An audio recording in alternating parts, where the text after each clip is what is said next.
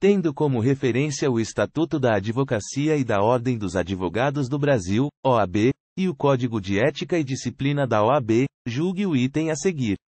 Ao participar de programa televisivo em que haja debate a respeito de determinada causa, um advogado poderá manifestar-se a respeito dela, bem como do método de trabalho usado, ainda que a causa esteja sob patrocínio de outro advogado.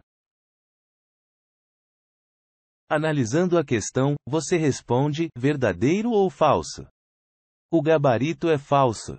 Artigo 43. O advogado que eventualmente participar de programa de televisão ou de rádio, de entrevista na imprensa, de reportagem televisionada ou veiculada por qualquer outro meio, para manifestação profissional, deve visar a objetivos exclusivamente ilustrativos, educacionais e instrutivos, sem propósito de promoção pessoal ou profissional, vedados pronunciamentos sobre métodos de trabalho usados por seus colegas de profissão. Parágrafo único. Quando convidado para manifestação pública, por qualquer modo e forma, visando ao esclarecimento de tema jurídico de interesse geral, deve o advogado evitar insinuações com o sentido de promoção pessoal ou profissional, bem como debate de caráter sensacionalista.